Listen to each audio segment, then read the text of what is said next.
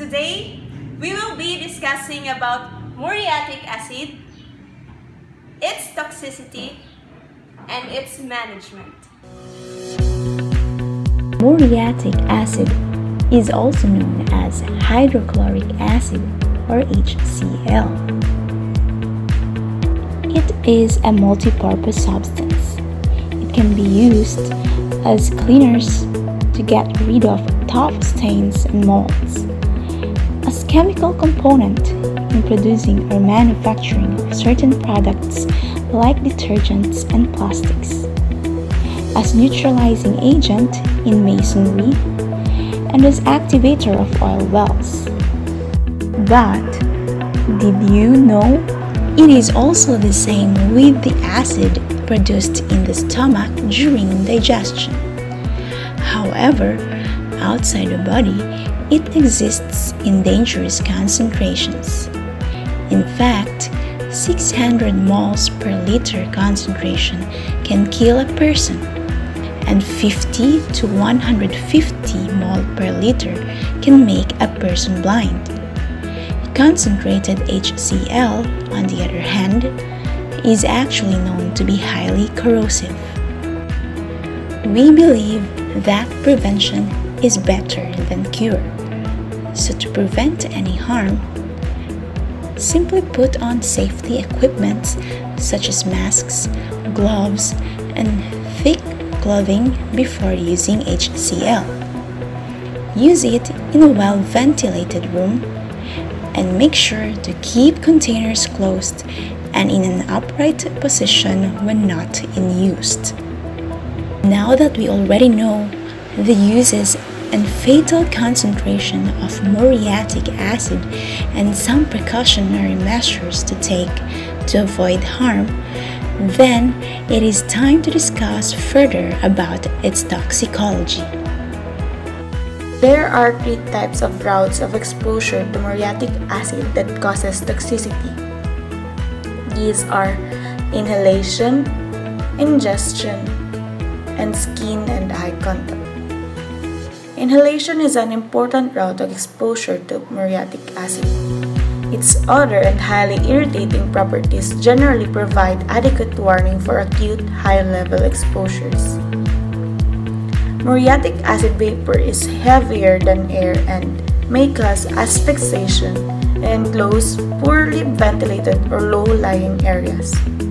Inhaling and breathing in muriatic acid may cause bluish color to lips and fingernails, chest tightness, choking, coughing, coughing up blood, dizziness, low blood pressure, rapid pulse, shortness of breath, and weakness.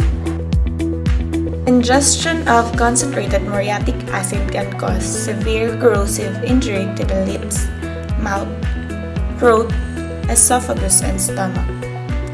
This includes severe abdominal pain, difficulty in breathing due to swelling of throat, severe chest pain, drooling, fever, severe mouth pain, rapid drop in blood pressure, severe throat pain, and bloody vomiting.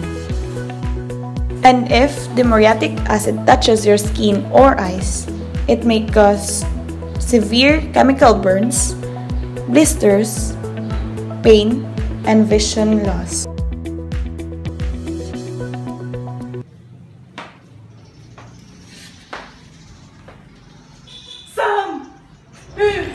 What to do if you suspected muriatic acid intoxication? The first thing to remember is to bring the victim to a safer area and call 911 if necessary. The secure airway, breathing, and circulation are the ABC. If victim is conscious, let the victim drink 4 to 8 ounces of milk or water. Do not induce emesis. Do not administer activated charcoal. And do not attempt to neutralize stomach content. If he or she can assist himself or herself, advise to wash thoroughly with soap and water the affected area. If eye is contaminated, flush with plain water or saline for 15 minutes. If a victim is unconscious, ensure adequate respiratory rate and pulse rate. Then, the following can be done by the rescuers and medical team for a compromised patient. First, for trauma, stabilize the cervical spine with a collar and backboard. Administer oxygen, assist with bag valve mask device if necessary. If respiratory compromised, secure airway respiration via endotracheal tube. If not possible, perform cricothyrotomy if equipped and trained. Administer bronchodilators to reverse bronchospasm. Pain medication and burn treatments should also be administered if necessary. That's it for muriatic acid poisoning. Hope you have learned something today.